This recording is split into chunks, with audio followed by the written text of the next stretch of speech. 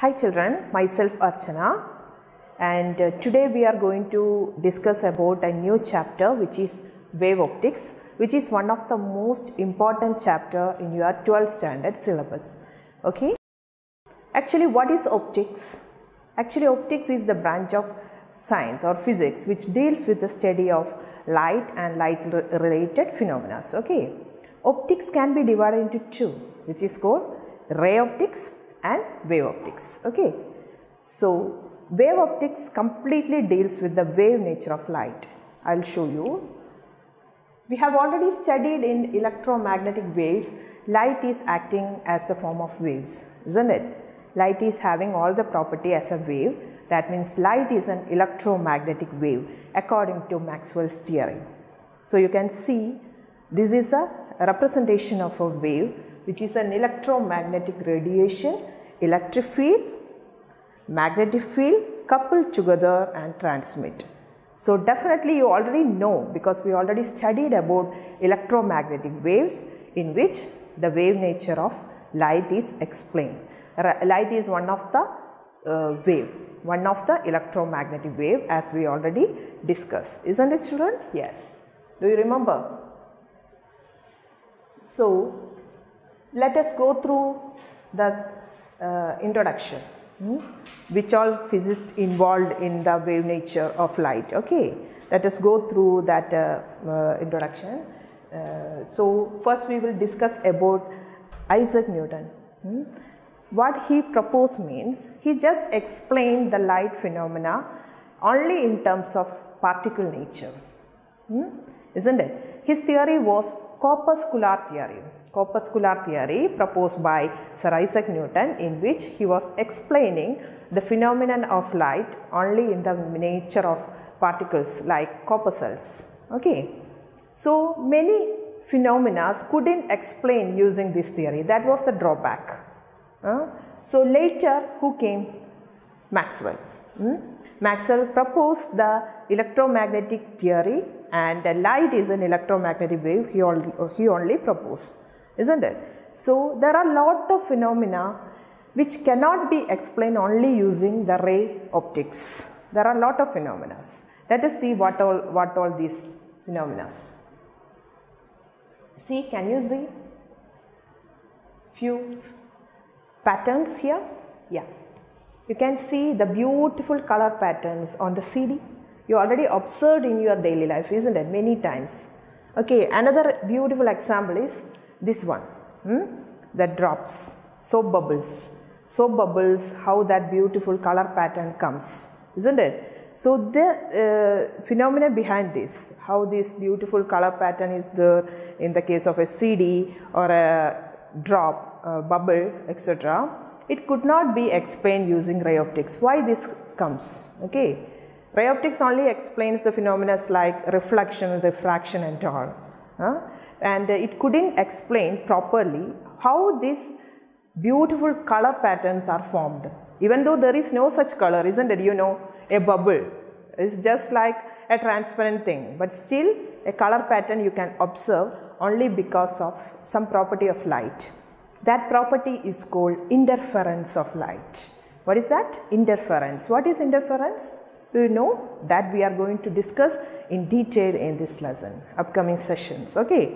Interference, let me tell you a brief regarding interference. Interference is nothing but uh, the superposition, superposition of waves. Okay. When two or more waves are combined, such uh, phenomena you can observe.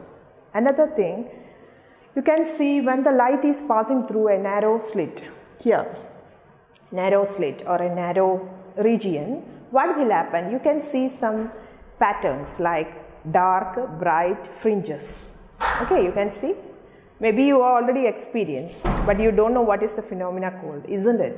So this is nothing but diffraction of light. Okay, the shadow effect, all this pattern, dark white pattern is called diffraction of light. That also another detailed topic in the in this lesson. Okay.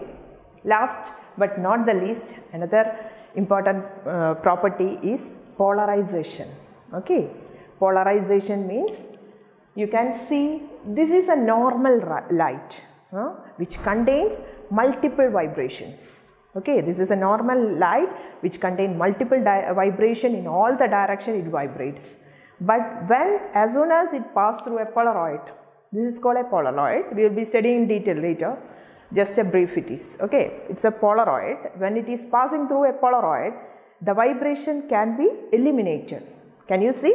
The light which is coming out is only single vibration. Okay, so it can be eliminated. Hmm? This process, uh, light is having different vibrations and you can uh, use a Polaroid to eliminate the vibration to a particular plane that is called polarization.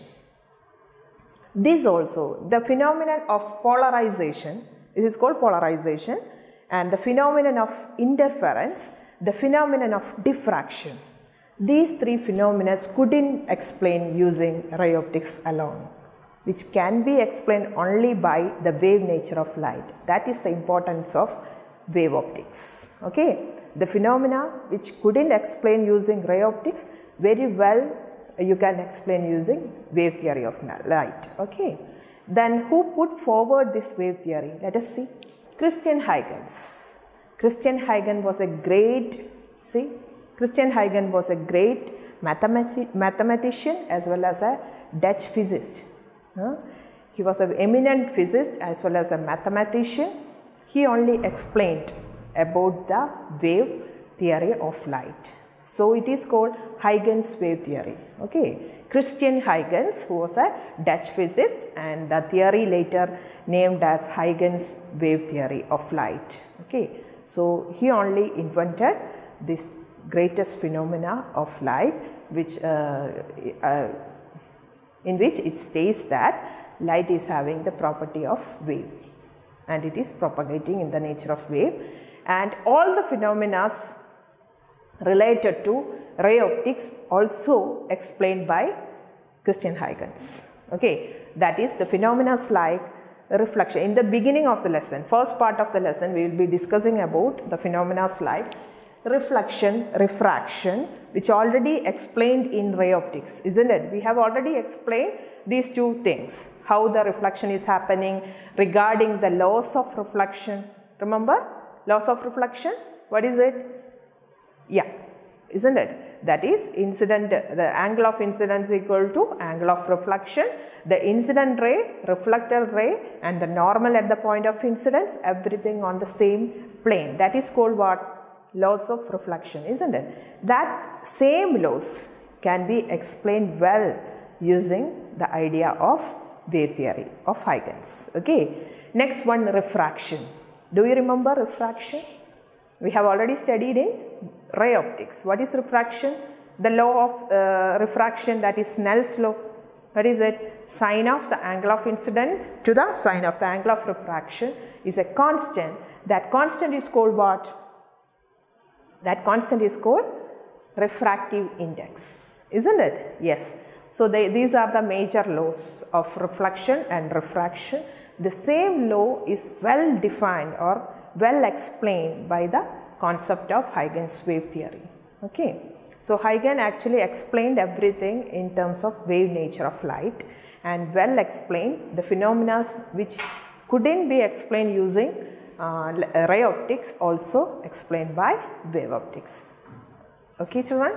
So, in coming section we will be discussing about uh, the reflection of light and refraction of light using Huygens wave theory.